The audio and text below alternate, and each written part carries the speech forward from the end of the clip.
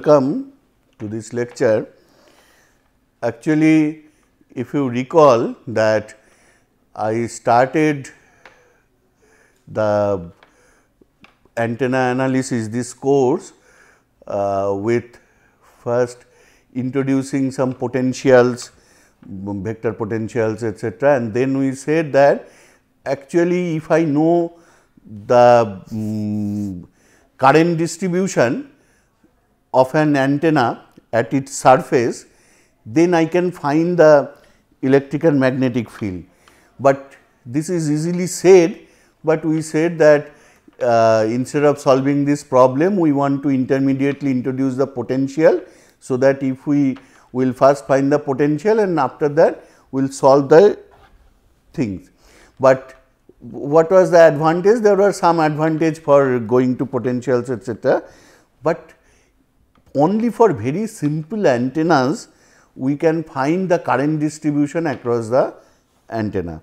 It is very difficult to find for complicated antennas, modern antennas, it is not so easy to find the what is the current distribution along the antennas, because there will be various modes, there will be various types of currents, you know the currents uh, sometimes they are displacement currents, sometimes they are uh, conduction current etc. So, it is not so easy though today you can say that with the help of modern computers there are numerical methods. So, you can find out you can now visualize that is a good thing and uh, that is being used. But if you cannot find this current distribution on a, uh, a thing, but then cannot you use the antenna? The answer is yes. You can approximately use the antenna and the results won't vary much provided you take this approach Friis transmission equation where you need to know that instead of the exact field of radiated by antenna, you should perform or find out what is the gain of the antenna in various directions where you are interested particularly in the from the transmitter to the receiver the direction in where the receiver is receiving a thing uh, power. So, there if you can find the gain uh, uh, then you can uh, find out how much power it will receive and actually links communication links are established based on these uh, long back even when the antennas were not much understood etc., based on these equations. So, we will see that the uh, Friis transmission equation. So, let us see the two antennas.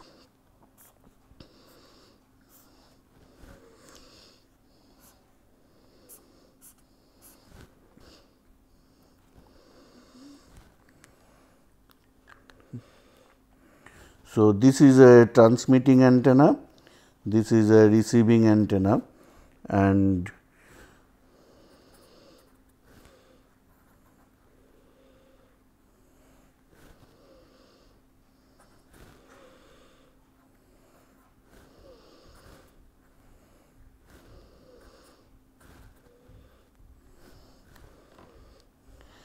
So, if this one is connected or radiating power P t, then what is the uh, power density at the receiving antenna?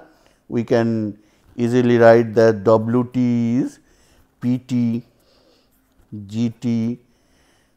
Uh, actually, it should be written as an angle, but I am writing that as if I know the value here.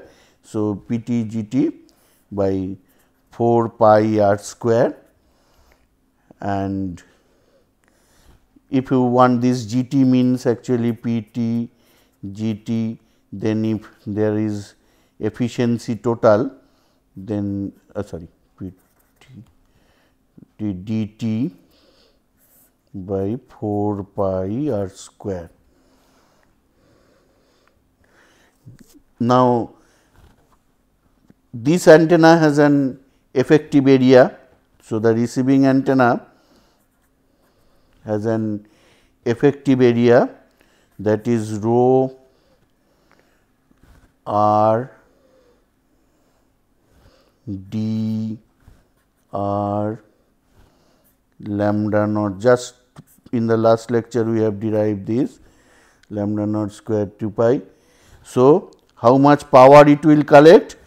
Power collect will be P r is equal to W t into this.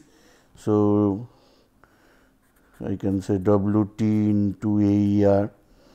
So, that will be P t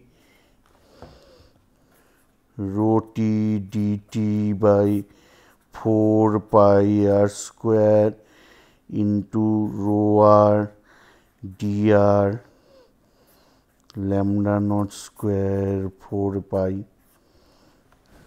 Okay. So, we can say that P r is equal to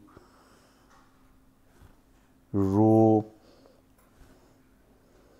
t rho r lambda naught square dt dr by 4 pi r whole square. Now, if we introduce the polarization loss factor, then we can write here that A t cap dirty r this thing we have earlier derived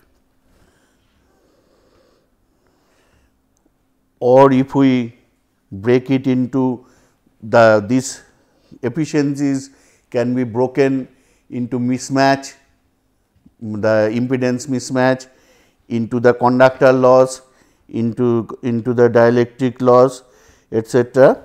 So, P r can be written as the rho C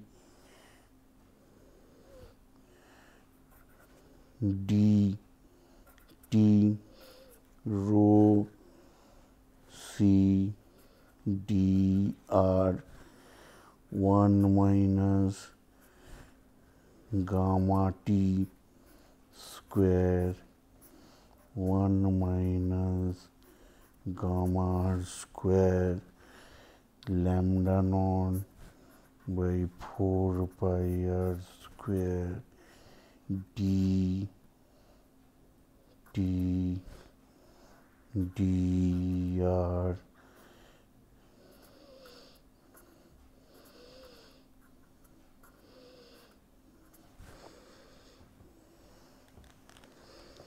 Okay. So, this is this formula is called Friis transmission equation. So, you see that if you know various parameters actually here only you see the conductor dielectric loss together has been taken. It can be also broken into conductor loss and transmission loss, but actually it is generally taken together because it is very difficult to from measurement to find out what is conductor loss and what is dielectric loss. So, the two losses can be put together that is why it is conductor dielectric together. So, these parameters are known we can find what is the oh there is a PT should be coming here. So, actually this equation is PR by PT um, somewhere from here PT has been gone PT GT you see all these are actually should be P r is equal to W t Ah, there, there was a PT. That P t uh, here was a PT, but after that that P t has been lost. So, this is also P r by P t, this is also P r by P t. So, this equation is called Friis transmission equation and you see if there are impedance uh, match then these two term will go Similarly, if there is polarization match this term will go, if it is a lossless antenna these two term will go. That is why generally we have under ideal condition lambda naught square by 4 pi r whole square G T G R. This, this is we are familiar with, but in actual this is the formula. This formula is called Friis transmission formula. Many times we use this. The assumptions here are the transmitter and receiver antennas they are separated by the far field distance. The we the uh, we know at the direction of the receiver from the transmitter the gains. Similarly, for the receiving antenna we know the gain uh, to the tra transmitter that direction and we know all other losses then we can find this thing. A similar equation can be derived for radar range equation there also this type of formulas can be used uh, that only thing there is instead of a receiver there is a target which takes the energy and scatters back. So, that in radar classes you will come across that if we take there. So, there is a new term called radar cross section gets introduced there and by that again what is the back scattered uh, power that comes from these type of simple models you can find. So, knowing the gain you see instead of analyzing the antenna also you can find out what is the power required. So, you can establish communication links etcetera with that for that you not need not do all analysis of the antenna. So, sometimes actually field theory analysis is overkill because it gives all the information, but all that information is not always necessary. So, to a communication engineer this information is enough. So, he need not bother what is the uh, various uh, fields etcetera at various points, what is that polarization that if he has all these loss factors he can safely establish the link. So, this is one thing that we wanted to say. And another thing we wanted to say is about the noise. That you see antenna whenever it is it is always looking towards the uh, free space and so it is a source of noise.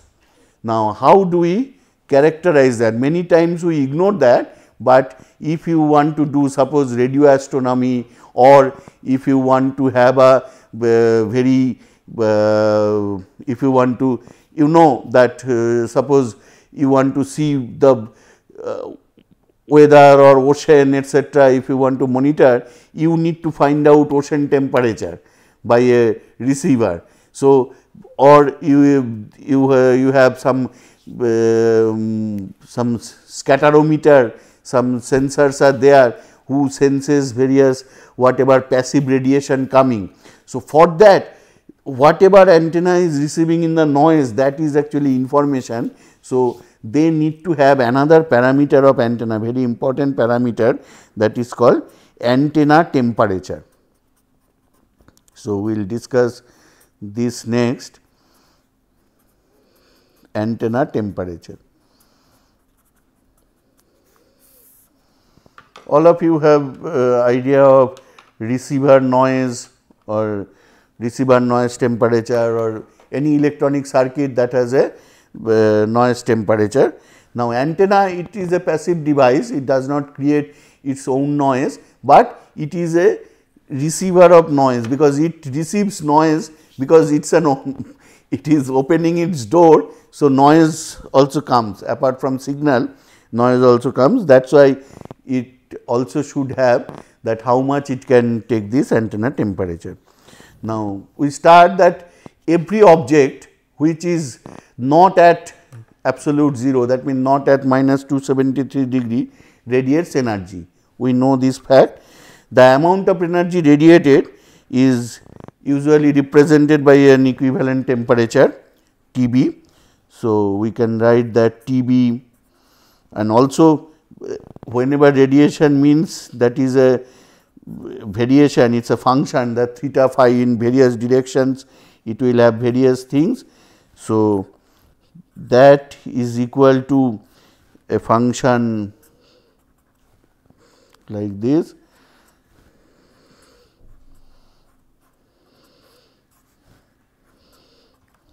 So, what is this epsilon? Epsilon uh, this is an emissivity function, it is a dimensionless quantity.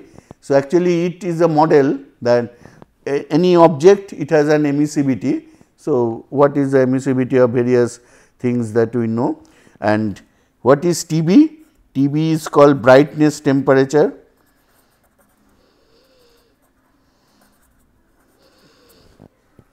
And what is Tm? This is the physical temperature. Physical temperature. So, both these temperatures their unit is Kelvin, emissivity is dimensionless and this what is this reflection coefficient? It is the reflection coefficient of the surface for the polarization of the wave because you know that uh, when the wave comes from any surface there will be a reflection. So, it is that.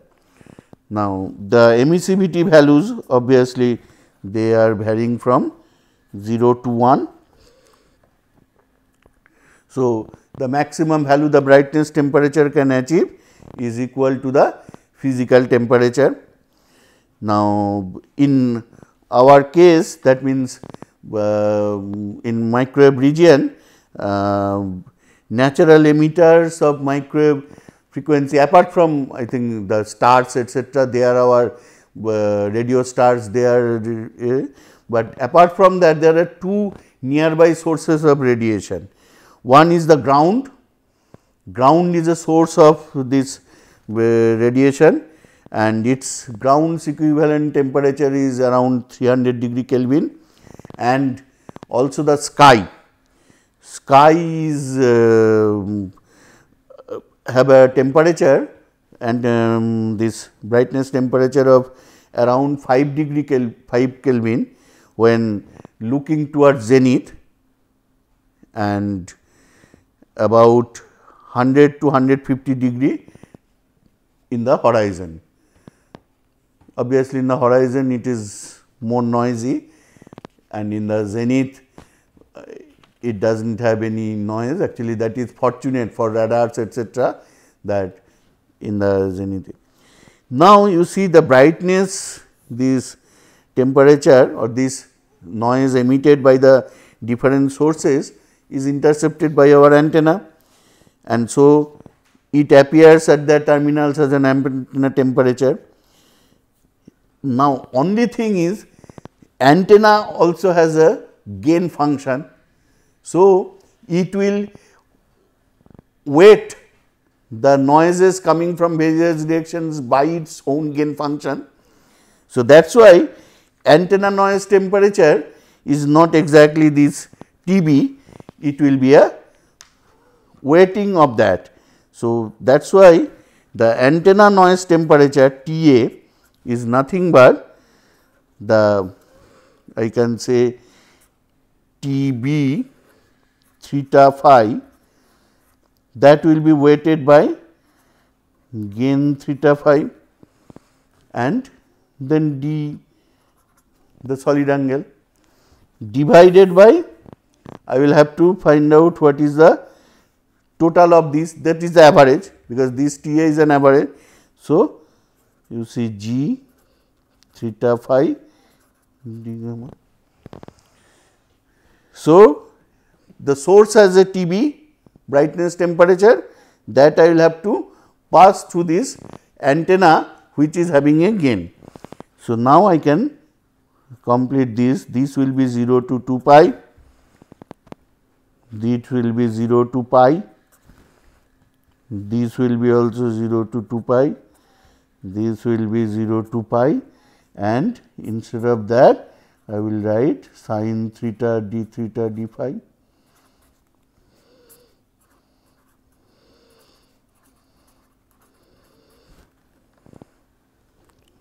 So, TA is the effective noise temperature of the antenna.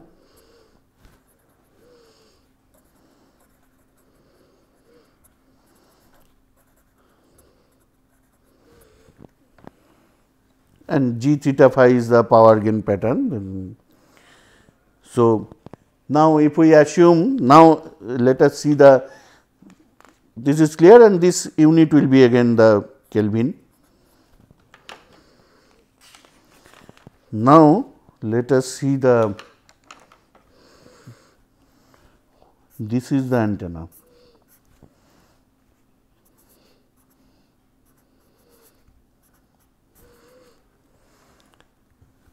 So, the source is here TB.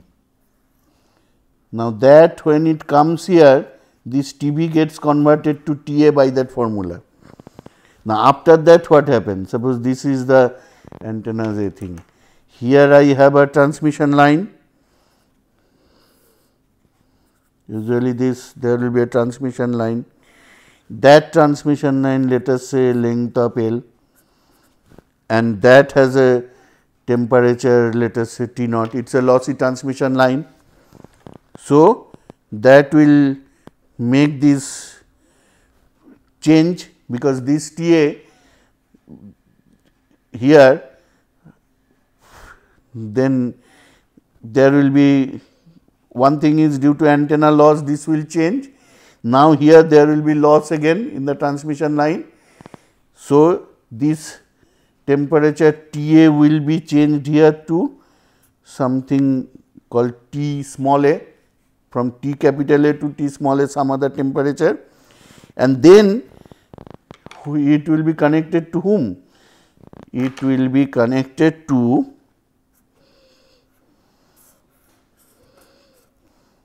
a receiver. That receiver has a its own noise temperature TR. So, I can say that the whole thing ultimately will have a TS which is TR plus TA because you see temperatures are additive because actually these are equivalent power. So, noise power total system noise power will be whatever antenna has brought up to here plus the noise added by the receiver. So, let us with this let us model it that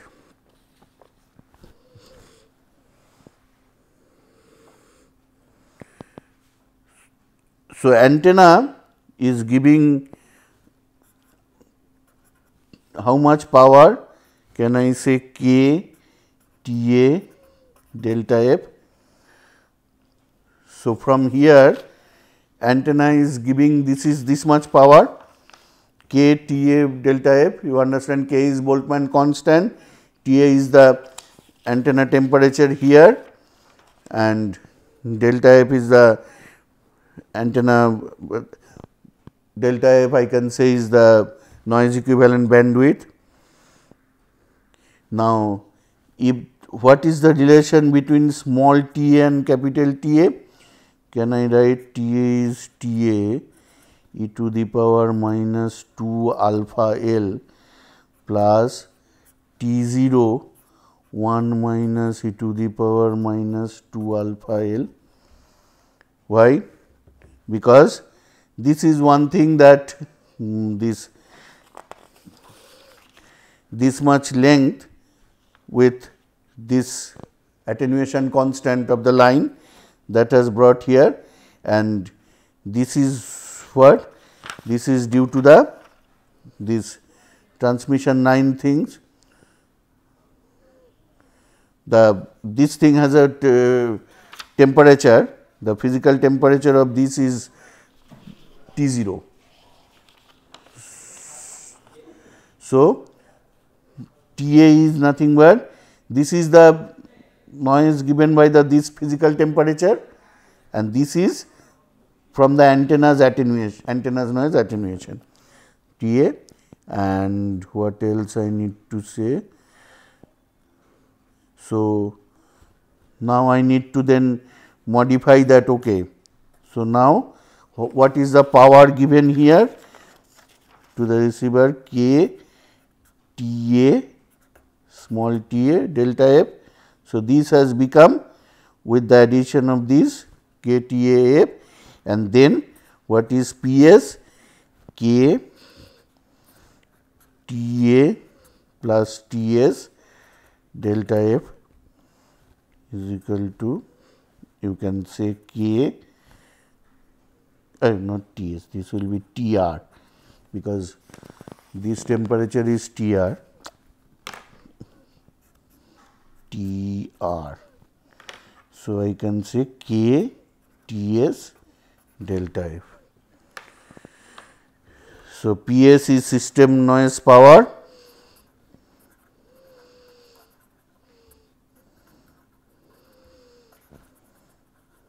at receiver terminal T A is antenna noise temperature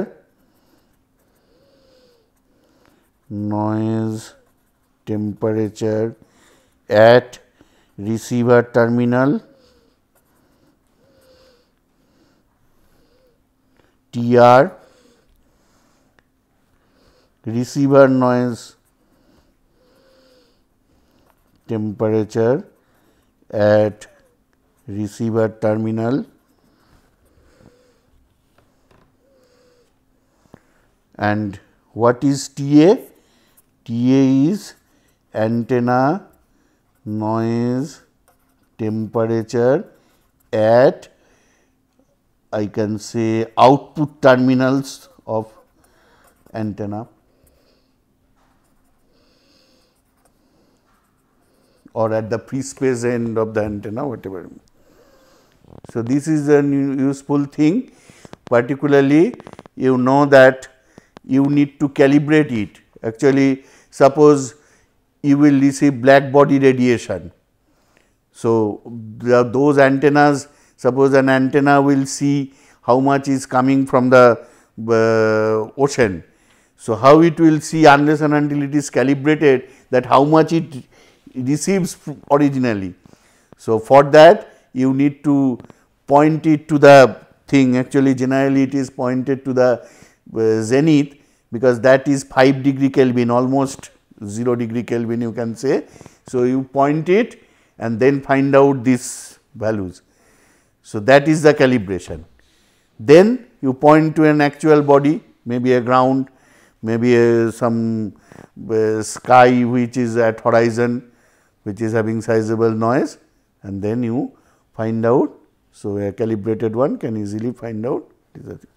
So, that is called antenna noise temperature. Okay. So, with that we now close the basic antenna parameters. So, we have seen all. Next we will see some of the very novel wire antennas where you can easily design wire antennas and for many cases it suffices. So, we will see wire antennas in few lectures. After that we will go to aperture antennas with uh, some of the very simple aperture antennas and then we will see the general method of analysis of antennas. Okay. Thank you.